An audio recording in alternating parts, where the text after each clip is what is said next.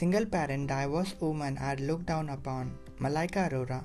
Actress Malaika Arora shared that divorced women or women who are a single parent are looked down upon and receive criticism from society. There is someone or the other having some sort of comment, and I think we need to change that, she added. Malaika said that her upcoming debut or OTT series Moving In with Malaika will not be scripted. It will offer viewers an insight of my life.